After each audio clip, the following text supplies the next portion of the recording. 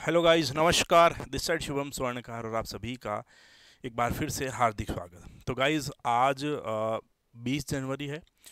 कल है इक्कीस जनवरी और कल है आपका सूचना सहायक का एग्ज़ाम। एग्ज़ाम का समय दिमाग में सेट रहे, वैसे है आप सभी के, बट फिर भी दस बजे से एक बजे तक है, ठीक है? ये एग्ज़ाम का टाइमिंग है, इक्कीस जनवरी को आपका एग्ज़ाम है। कुछ कुछ अभ्यर्थियों का सेंटर उन्हीं के शहर में है कुछ कुछ अभ्यर्थियों का सेंटर जो है, शायद जयपुर या जोधपुर या अजमेर जहाँ पर भी आवंटित है सेंटर वहाँ पर आया होगा, ठीक है? तो सब लोग जो है, पहली बात तो कि जिनका कल एग्ज़ाम है और अलग अलग शहरों में तो वो कोशिश करें आज रात को ही वहाँ पर पहुँच जाए, क्योंकि कल सुबह एक घंटे से पहले एडमिट जो आपकी एंट्री है वो बंद कर दी जाएगी। इसका मतलब नौ बजे जो है वो गेट बंद कर दिए जाते हैं, ठीक है? तब जब गेट वो नौ बजे बंद कर दी जाती है, इसका मतलब आपकी एंट्री ख़त्म है। तो कोशिश करें कल सभी के सभी स्टूडेंट जो हैं नौ बजे से पहले पहले एग्ज़ाम सेंटर के बाहर पहुँच जाए, ठीक है? लाइन में ज़रूर लग जाओ। अब उसके बाद में जो है कि भाई बाई चांस सवा नौ बज गई है, लोग वो जो सेंटर वाले हैं वो चेक करने में डिले कर रहे हैं, वो अलग बात है। तो उन पर डिपेंड नहीं रहिएगा, कोशिश करिएगा कि उससे भी पहले साढ़े आठ बजे तक जो है जा के वहाँ पर लाइन में लग जाइए ताकि आपकी चेकिंग हो सके, ठीक है? इसमें आप लोगों को जो है क्या क्या लेके जाना है? तो ई एडमिट कार्ड होना चाहिए इंटरनेट से डाउनलोड किया हुआ।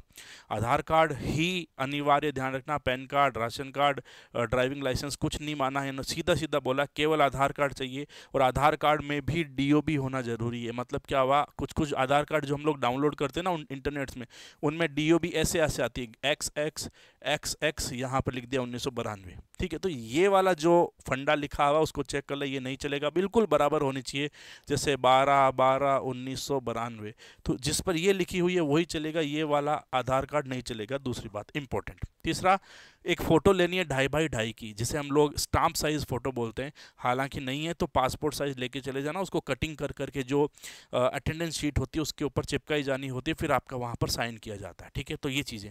चौथा, एक घंटे पहले आप लोगों को पहुँच जाना है। नौ बजे तो गेट ही बंद हो जाएगा, ठीक है? उससे पहले कोई कीमत वहाँ पर पहुँचिए, ठीक है? अगली काम की बात यह है कि, अब सर हमें आज कुछ पढ़ना है। अब देखो, जो पढ़ना है आप लोगों ने जनवरी में वैकेंसी आई थी, वापस जनवरी आया। बारह महीने का समय मिला जो आपने पढ़ा पढ़ लिया अब कुछ भी नहीं बचा है ठीक है आपने अपनी तरफ़ से भरपूर मेहनत कर ली। मैंने भी आप लोगों को जितना भी पढ़ाना था जितना भी आप लोगों को कंटेंट देना था आ, ये वाली जो है आ, किताब देनी थी ये किताब भी आपको दे दी इस किताब को आपने पूरा कर लिया है बहुत अच्छी बात है जिन्होंने नहीं किया है नहीं किया है वो बैठे बैठे टाइम पास नहीं करें इस किताब को लेकर बैठे और जितने भी सवाल बचे हैं इस किताब के वो करते रहिए ठीक है? अगली बात कि आ, अब हमें कुछ भी नहीं पढ़ना जितना हो चुका है काफ़ी अब तो हमें एग्ज़ाम देना। ध्यान रखना आज जो है आ, कल के एग्ज़ाम के अंदर जो इम्पोर्टेंट बात है कि आपको जो है पांचवा ऑप्शन मिलेगा फिफ्थ ऑप्शन। अगर आप लोग जो है ऑप्शन एक से चार तक नहीं काला करते हैं तो पांचवा आपको काला करना पड़ेगा नहीं तो आप एग्ज़ाम से बाहर हो सकते हैं। ठीक है? तो अब क्योंकि आप सबको पता है कि यहाँ पर जो है, वो नेगेटिव मार्किंग जो है, वो नहीं है। तो जब नेगेटिव मार्किंग नहीं है तो हमें पाँचवें ऑप्शन तक तो जाना ही नहीं भाई, हम तो एक से चार तक ही जो आते हैं कर देंगे और जब नहीं आ रहा वहाँ पर हम लोग टोरा मार सकते हैं। तो नकारात्मक अंकन नहीं है इस एग्जामिनेशन में तो आराम से ध्यान से एक से लेकर चार ऑप्शन तक ही फोकस करें कि हमें तो इन्हीं में से भरना है। अब कहीं कहीं बार कहीं कहीं बार क्या होता है कि जब हमें ऐसा नेगेटिव मार्किंग नहीं है मिलता है ना तो हम आ, सही आते आते भी गलत कर देते हैं। तो मेरा एक ध्यान से बात समझिएगा। एक से लेकर के 150 तक के प्रश्नों को पहले पढ़िएगा। ओ एम शीट में अपनी डिटेल भर दी ओ एम शीट साइड में रख दो। अब एक से लेकर डेढ़ सौ तक प्रश्न पढ़ो, अपने हाथ में पेंसिल, पेन या जो भी आपके पास में वो रखो। आराम से एक प्रश्न पढ़ो। अगर आपको उत्तर आता है, सौ परसेंट श्योर हो तो आंसर के पहले एक छोटा सा डॉट लगा दो। टिक विक मत करो पेपर बिगड़ जाता है। आराम से।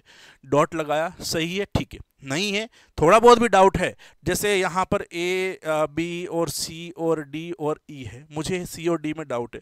तो इतना सा लेके यहाँ पर छोड़ दो कि भाई मुझे यहाँ डाउट है। एक से लेके डेढ़ सौ तक जाओ। फिर वापस एक पे आओ। अब जहाँ पर आपने सिंगल डोट किया था, जिसमें आप हंड्रेड परसेंट श्योर थे, उस प्रश्न को ध्यान से पढ़ना, उस प्रश्न के नंबर को ध्यान से देखना और ओमार शीट में नंबर को ध्यान से मैच करना। पांचवे में मैंने सी पे डॉट लगाया था, फिर मैं यहाँ पर सी को गला, कोला कर दूँगा, ठीक है? ऐसे करते हुए एक से डेढ़ सौ तक जिसमें आप हंड्रेड परसेंट थे, वो वहाँ पर कर दो।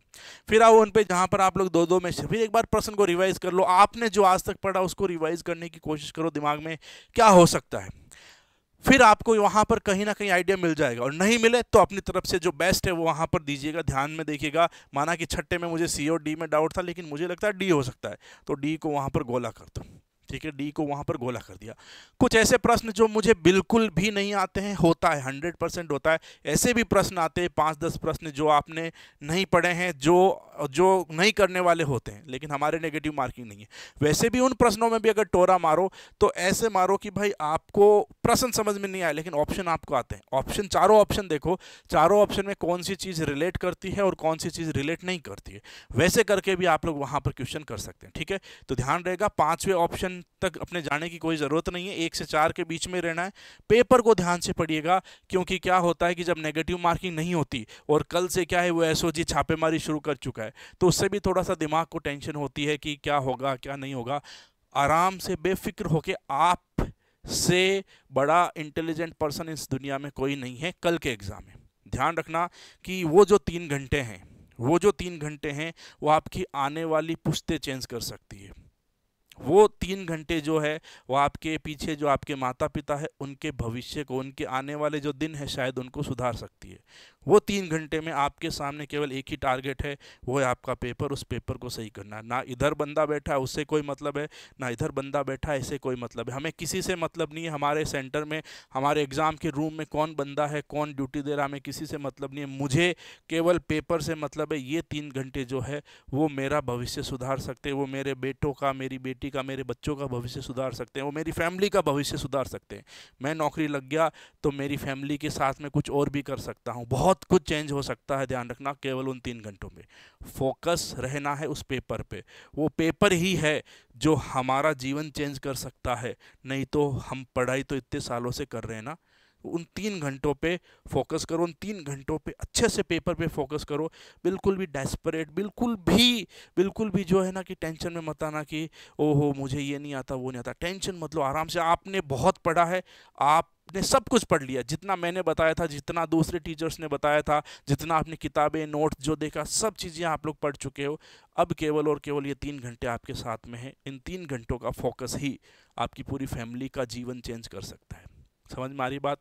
नौकरी छोटी हो चाहे बड़ी हो, नौकरी नौकरी होती है, जिसमें आपको हर साल तीन इंक्रीमेंट मिलते हैं, अगले साल वापस। एक जून, जनवरी में मिलता है, एक जुलाई में मिलता है, एक एनुअल इंक्रीमेंट मिलता है। हर साल आपकी तनख्वाह बढ़ती है, घटेगी नहीं।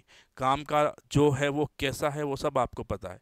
केवल और केवल एग्ज़ाम पे फोकस करना, केवल और केवल तीन घंटे इतना याद रखना कि मेरे इस एग्ज़ाम को अच्छा करने से मेरी मम्मी, मेरी पापा, मेरी लुगाई, मेरे टाबर, मेरे भाई बहन सब कुछ चेंज, सब लोग चेंज हो सकते हैं।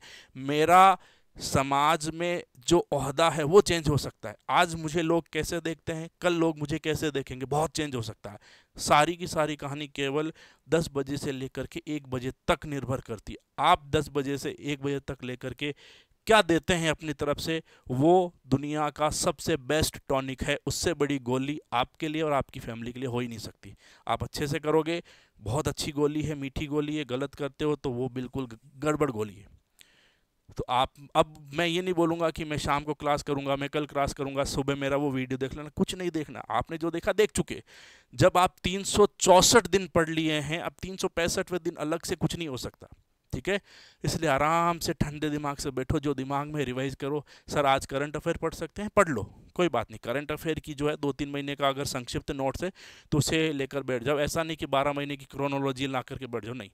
इंटरनेट पे मिल जाएँगे। कहीं से भी संक्षिप्त नोट्स एक दो पेपर पे जो है वो डाउनलोड कर लो।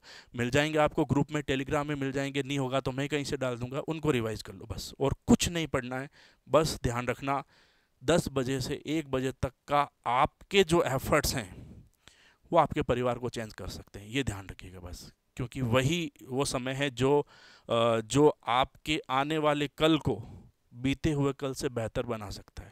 तो आज में जीना है। दस से लेकर एक बजे तक उसी समय में जीना है। उसी समय में पेपर को अच्छे से करना है। जो बेस्ट है, वो बेस्ट है। जो आता है, वो आता है। जो नहीं आता है, वो भी आता है। वो भी मैं आंसर वहाँ पर दे करके आऊँगा क्योंकि नकारात्मक अंकन नहीं नेगेटिव मार्किंग नहीं है। छोड़ना एक भी प्रश्न नहीं है। आराम से ध्यान रखना, घंटे तीन ही है। एक सौ अस्सी मिनट है, एक सौ पचास प्रश्न, एक प्रश्न को एक मिनट आराम से दो, कोई टेंशन नहीं है। फिर भी तीस मिनट बचेंगे। आराम से पूरा प्रश्न पढ़ो, बिल्कुल ज़बरदस्ती में, जल्दबाजी जल्दबाजी में किसी भी प्रकार का आंसर नहीं देना। प्रश्न पढ़ लिया, आराम से एक मिनट तक प्रश्न को पढ़ो, उत्तर को पढ़ो। दिमाग में सोचो, एक मिनट बहुत होता है।